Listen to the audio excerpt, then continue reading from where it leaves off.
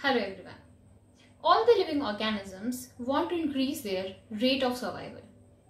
And for increasing that rate of survival during their lifetime, they generally go for certain changes. Changes can either only be physical or can be physical as well as chemical.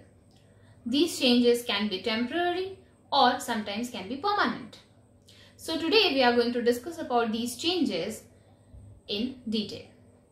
Coming on to the first kind of change that is adaptation. Adaptation is a permanent change in an organism that can be inherited from one generation to the next generation.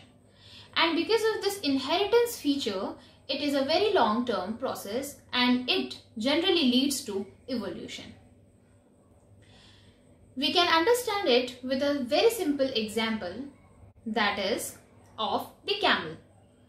The camel is an organism that adapted itself to the desert environment by having a hump where it can store water even though during the scarcity of water it can stay for a longer duration without water. Coming on to the next topic that is acclimatization. Acclimatization is a temporary change that is only and only occurring in the physical appearance. This temporary change only helps in the survival of that individual for a particular time period because of certain habitat, habitat change. For understanding acclimatization, we can have our own example. We all are having a constant body temperature that is 37 degrees Celsius. But because of the environmental conditions, our body acclimatizes itself so that we can survive in a better way.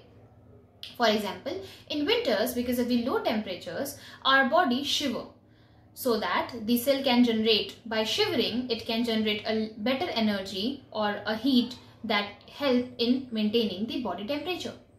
In summers, the opposite thing occur. That is, in summers, because of the high temperature, the body starts sweating so that that sweating will further lead to evaporation and a cooling effect to the body.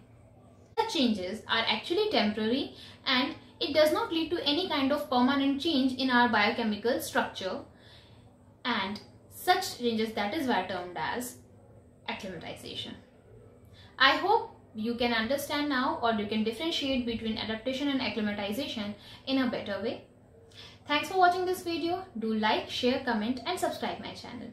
And keep watching because in my next video I am going to discuss about the types of adaptation.